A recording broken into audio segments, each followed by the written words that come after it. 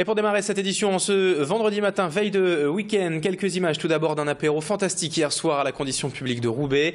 Pour lancer la saison de l'île 3000, le haut lieu culturel roubaisien proposait une soirée découverte de trois installations, euh, toutes autour de la figure mythique du dragon. L'animal légendaire asiatique va guider en effet les expositions, spectacles et concerts des deux prochains mois de la condition publique. Et hier soir, en guise d'introduction, ces trois installations ont donc permis de raconter l'histoire des fantastiques dragons du Roubaisy, euh, comme si la chaleur des usines textiles du 19e siècle aurait un jour accouché de ces créatures. La saison du dragon, c'est donc à voir jusqu'en décembre à la condition publique. Et écoutez tout de suite les explications d'Anne-Isabelle Vignot, la directrice de la condition publique à Roubaix, au micro d'Adélaïde Bollard.